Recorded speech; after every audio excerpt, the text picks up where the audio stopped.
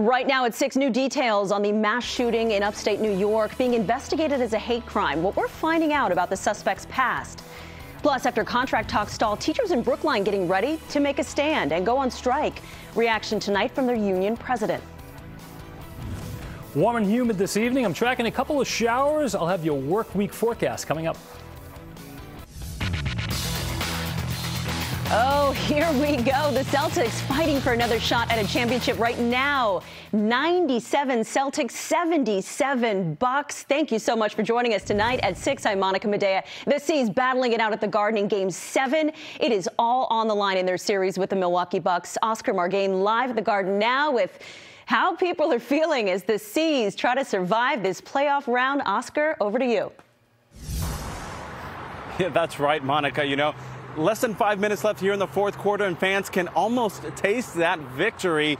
The Celtics leading by as many as 22 points here in the fourth quarter as they try to seal a win here at home and try to eliminate the defending champions, the Milwaukee Bucks, here in Boston. Now, here at the Garden, fans have been as loud as they can, not only to give the Celtics the boost they need, but also to try to throw the Bucks off their game. The C's struggled a little bit in the first quarter to finish then the first half with a five-point lead, then coming back in the third quarter, stretching that lead even further, and then the fourth, like I said, by as many as 22 points here.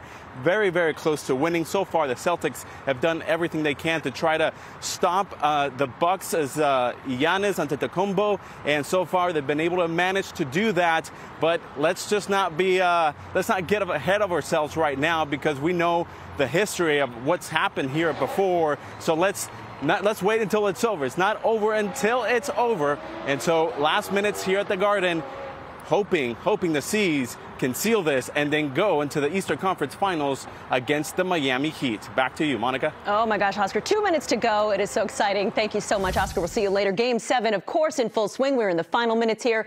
Once it's over, our sister station, NBC Sports Boston, has you covered with live post-show coverage. You gotta stay tuned for that. And also this, time now for a check of the weather. You know, it may have been a nice and warm weekend, but storms are headed our way. So meteorologist David Bagley has your first alert forecast. Hey, David.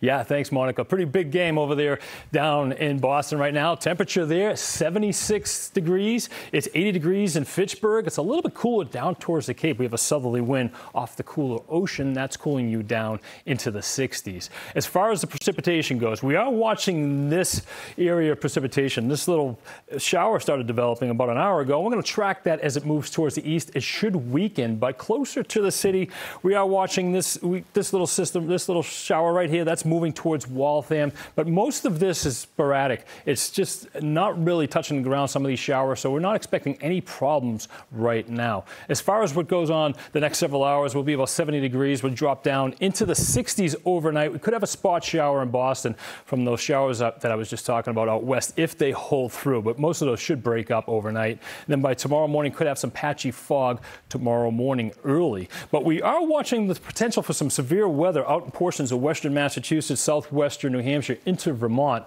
Those storms will be arriving about 6, 7 o'clock tomorrow night. I'll have all the details coming up in just a few minutes. Monica. All right, David, we'll see you then.